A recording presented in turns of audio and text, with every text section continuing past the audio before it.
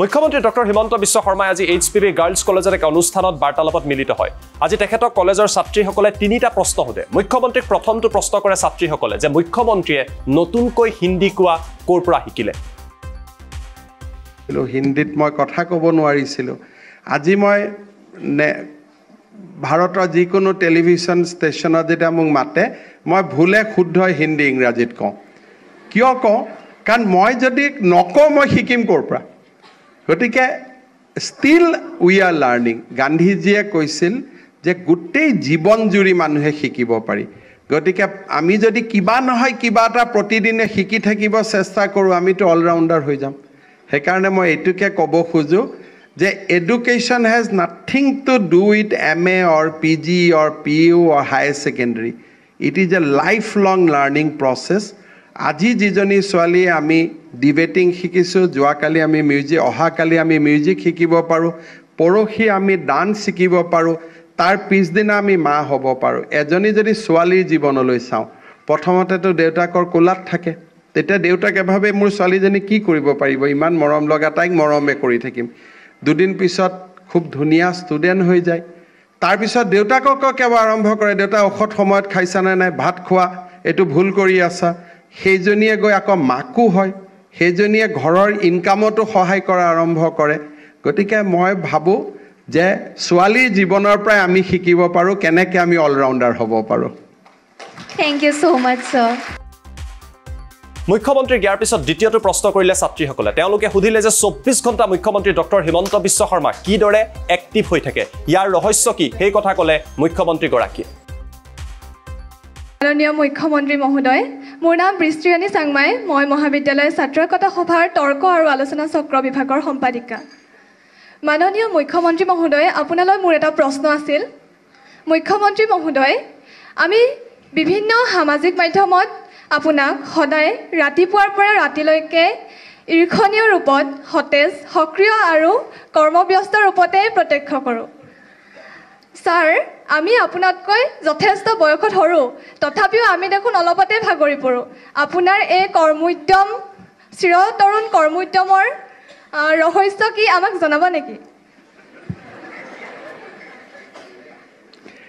এটাটো ফাৰ্ষ্ট এইটো ক'ব লাগিব যে যিবিলাক ল'ৰা ছোৱালীয়ে ছাত্ৰ অৱস্থাতে ৰাজনীতি কৰে বা ষ্টুডেণ্টছ ইউনিয়ন কৰে বা কাম কাজ কৰে ক্লাব কৰে যিকোনো কামত আগভাগ লৈ থাকে অকণমান তেওঁলোকৰ বডি আৰু মাইণ্ডটো ভাইব্ৰেণ্ট হৈ থাকে।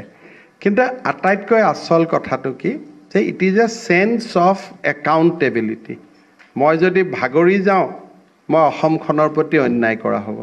গতিকে মই যিদিনাখনে মুখ্যমন্ত্ৰী হৈছোঁ সিদিনাখনে মই শপত লৈছোঁ যে মই ভাগৰিব নোৱাৰোঁ। আৰু যদি মই ভাগৰি যাওঁ তেতিয়াহ'লেতো কাম কাজ নহ'ব। সেইকাৰণে মই ভাবোঁ যে it is all about your minds মই যদি ভাবোঁ যে মই নাভাগৰোঁ মই নাভাগৰোঁ খালী ভাগৰিব নালাগাৰ কাৰণে ইণ্টাৰেষ্টিং কামবিলাক কৰি থাকিব লাগে। যেনে আজি মই গোলাঘাটত আছোঁ মই মোক সজাব লাগিব এনেকৈ যে নেক্সট মুমেণ্টত মই যিটো কাম কৰিম তাৰ পিছৰ মুমেণ্টত যিটো কাম কৰিম সেইটো তাৰ পৰা যাতে মই এটা এনজয়মেণ্ট পাওঁ। যদি মই এনজয়মেণ্ট নাপাওঁ আৰু নিগেটিভ কামৰ লগত যদি মই থাকোঁ তেতিয়াহ'লে ভাগৰ লাগিবই। আৰু মই ভাবোঁ যে অলপ চলপ বেয়া অভ্যাসবিলাক নাথাকিলে মানুহে ভাল কৰি মেইনটেইন কৰি থাকিব পাৰে। মদ পানী খাব অলপ কমাই মই নাখাব বুলি নকওঁ কিন্তু মই ভাবোঁ যে সেইবিলাকৰ পৰা দূৰত থাকিলে এনাৰ্জি পোৱা যায়। এটা হৈছে কামবিলাক পজিটিভ হ'ব লাগে you will get lot of energy আৰু বহুত বেছি মানুহে কাম কৰাটোৱে নিচা হ'ব লাগে। বেলেগ নিচাক আকৌ মানুহক আক্ৰমণ কৰিব সুবিধা দিব নালাগে।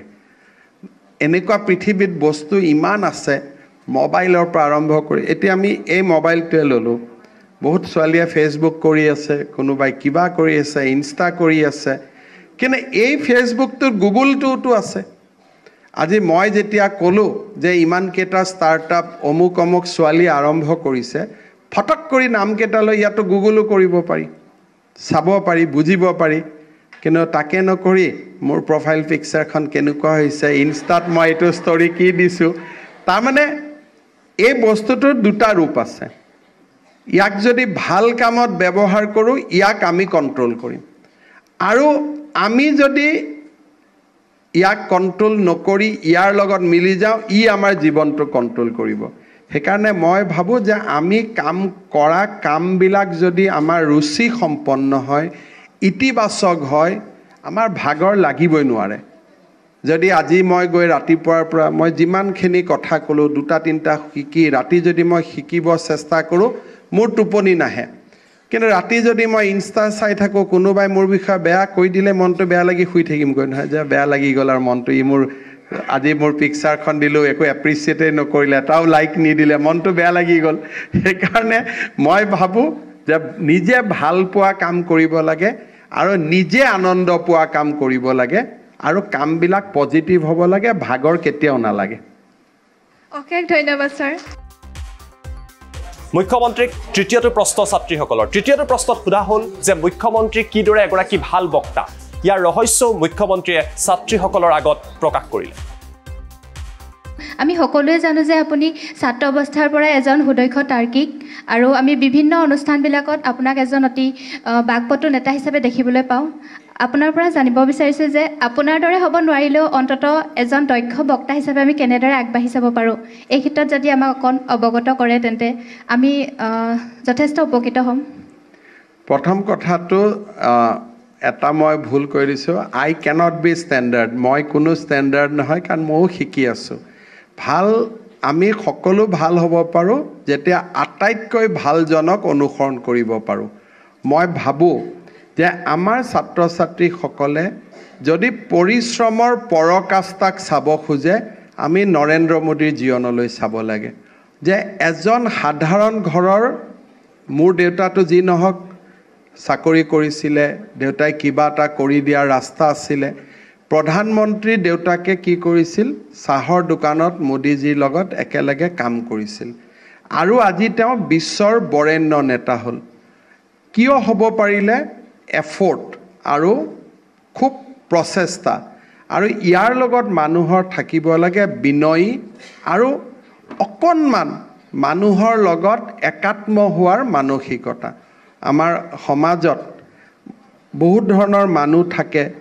আমি যদি প্ৰত্যেকৰ মাজতেই কিবা এটা দেখা পাব চেষ্টা কৰোঁ প্ৰত্যেকৰ পৰা যদি কিবা এটা শিকিব খোজোঁ আমি বহুত দূৰ আগুৱাই যাব পাৰোঁ।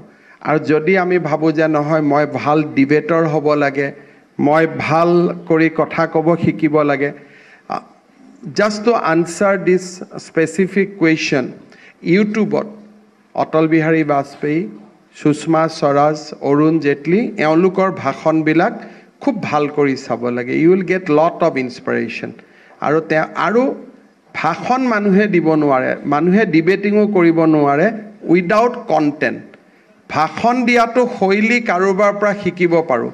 কিন্তু কণ্টেণ্টটো আমি নিজে পঢ়ি আহৰণ কৰিব লাগিব। মই বহুত কলেজত ডিবেট কৰিছিলোঁ। ডিবেটত মই এটা বস্তু দেখোঁ যে তেতিয়া আমাক যিসকলে ডিবেট শিকাইছিলে তেওঁলোকে আমাক তিনিটা কথা শিকিছে শিকাইছিলে। যে এটা হৈছে সাহস। ফটক কৰি দেখাৰ লগে লগে অকণমান বিশেষকৈ যদি মই কটন কলেজৰ পৰা এগ্ৰিকালচাৰ ইউনিভাৰ্চিটিক ডিবেট কৰিব আহিছোঁ ক্ৰাউডটো মোৰ ছাপৰ্টিভ নাথাকে। ক্ৰাউডটো সাধাৰণতে নিজৰ নিজৰ ইউনিভাৰ্চিটিখনক ছাপৰ্ট কৰে। গতিকে প্ৰচণ্ড সাহস যে যি হ'ব হ'ব মই কমেই চেছ কৰিম। ছেকেণ্ড কথাটো হ'ল যে উপা উপস্থাপন। উপস্থাপনটো আমি টেলিভিশ্যনত আজিকালি বহুত সুবিধা হ'ল। ইউটিউবত এনেকুৱা বহুত মেমৰেবল স্পীচ আছে।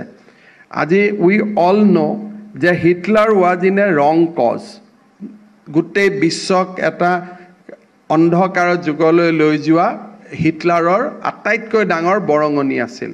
বাট তেওঁ এনেকৈ ভাষণ দিছিল যে গোটেই মানুহখিনিকে মেচমাৰাইজ কৰি থৈ দিছিলে। সেই যিটো এটা মানুহৰ লগত কথা কওঁতে উপস্থাপন বক্তব্য দিওঁতে উপস্থাপন তাৰ বিষয়ে আমি বেলেগ বেলেগ মানুহৰ বিশেষকৈ অসম ইণ্ডিয়াৰ ক্ষেত্ৰত Sushma Swaraj Atal Bihari Vajpayee they are very good example তেওঁলোকক আমি চালে বহুত কথা শিকিব পাৰিম। কিন্তু এটা কথা আমি শিকিব নোৱাৰোঁ সেইটো হ'ল কণ্টেণ্ট আজি মোক যদি এতিয়া ডিবেট কৰিব কয় whether, in, whether India's G20 presidency will be good for the country or not. চ' আমি লগে লগে জি টুৱেণ্টি বুজিব বা লাগিব। দেন জি টুৱেণ্টিৰ প্ৰেচিডেণ্টৰ দায়িত্বটো কি সেইখিনি বুজিব লাগিব। সেইখিনি আমি কোনো চাই বুজিব নোৱাৰোঁ। উই হেভ টু ষ্টাডি সেইকাৰণে মই ভাবোঁ যে কণ্টেণ্ট হাতত থাকিলে ভাষণ ভাল হয়। আজি মই গোলাঘাটত ভাষণ দিছোঁ। মই পঢ়ি অহা নাই। কিন্তু মই জানো যে today my content is very rich কাৰণ ইমানবিলাক স্কিম আছে যেতিয়া অলপ অলপ কৈ গ'লেই মোৰ ভাষণটো ভাল হ'ব। কি যিদিনাখন মোৰ কণ্টেণ্ট নাথাকে যিদিনাখন মই জানো যে মোৰ I am not in a very strong wicket তেতিয়া মই পঢ়া শুনা কৰি মই অলপ যুক্তি বিচাৰি ল'ব লাগিব যে কিবা এটা যুক্তি লৈ যাম যাতে এটলিষ্ট মই ডিবেটটোত পাৰ্ট ল'ব পাৰোঁ। সেইকাৰণে মই ভাবোঁ যে কণ্টেণ্ট ৰিচাৰ্চ কৰা নিজক সাহসী কৰা আৰু এডভাৰ্চিটিৰ সন্মুখতো নিজক যে মই I will not go' off সেই ধৰণৰ এটা মানসিকতাৰ আমাক প্ৰয়োজন। ধন্যবাদ ছাৰ আমাক ইমান ইমান সুন্দৰভাৱে বুজাই দিয়াৰ বাবে।